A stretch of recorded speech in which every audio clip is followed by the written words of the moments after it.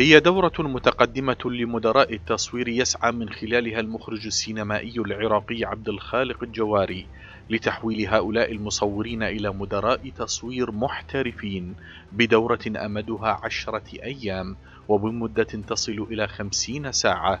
أي إن المتخرج باستطاعته العمل على كاميرات ال RED وال ARRI وال Magic وال DSLR خصوصا وأن معظم التلفزيونات تحولت إلى البث بالاتش دي المجموعة الحاضرة للدورة هم من الدول العربية الشقيقة من المملكة العربية السعودية من مصر من اليمن من الأردن وفي آه، طلاب يتابعوا الدورة من أونلاين من ألمانيا.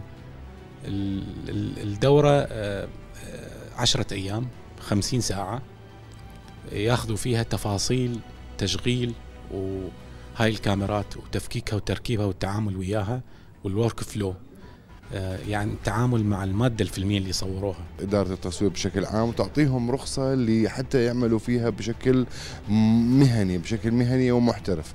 آه، الأستاذ عبد الخالق الآن ومن خلال حكي المشاركين معلوماته جدا قوية معلوماته جدا آه، محترفة وبالتالي عماله بيكسبهم مهارات في مجال إدارة التصوير. الحاضرون في هذه الدورة وهم من بلدان عربية متنوعة. أكدوا سعيهم الإفادة من هذا النمط من الدورات كي يعملوا على كاميرات سينمائية احترافية وينقلوا ما تعلموه في هذه الدورة إلى بلدانهم كون التقنيات التي يتعاملون معها حديثة جدا وهي غير متوفرة بكثرة كبقية دول العالم. استفدنا من خبرة الأستاذ عبد الخالق من خلال معلومات تمارين تطبيق عملي كان على كاميرا الريد كاميرا الكاميرا الريد السينمائية طبعا مثل هذه الدورات إحنا يعني تعتبر بالنسبة لنا أشبه بالحلم وبداية يعني اتجاه الطريق الصحيح نحو الاحترافية في صناعة الفيلم ومحاكاة السينما العالمية اللي إن شاء الله نتمنى إن شاء الله مع المستقبل القريب أن نكون على الأقل قطعنا شوط كبير في هذا المجال. معاهد أو حاضنات تدريبية تمتلك الأدوات آه، التدريبية الكاملة آه، مع المدرب المعتمد الرصين القادر على نقل هذه المعلومة وعلى نقل هذه الإمكانيات والمهارات إلى المتدربين. الشباب العربي أو الوطن العربي مقبل على ثورة سينمائية.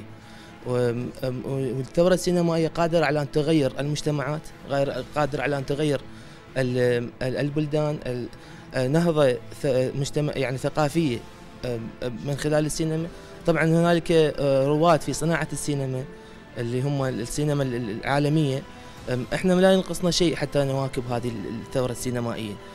مع هذه معها كذا دورات معها معها كذا آه، خبرات. الاندماج والاحتكاك مع بعض.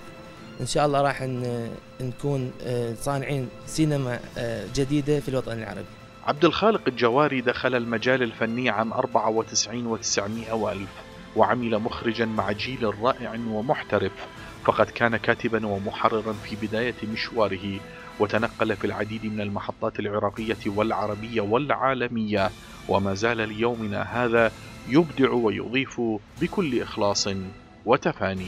أن تلج مجال الاحتراف ما يعني أنك تعلمت بصورة صحيحة أي أنك تسلحت بالمعرفة واكتسبت مهارة التدريب مع العمل لتؤهل كي تكون في المستقبل مدير تصوير دولي. من المعهد الأردني للإعلام في العاصمة عمان لبرنامج صباح العراقية زيد الطائي.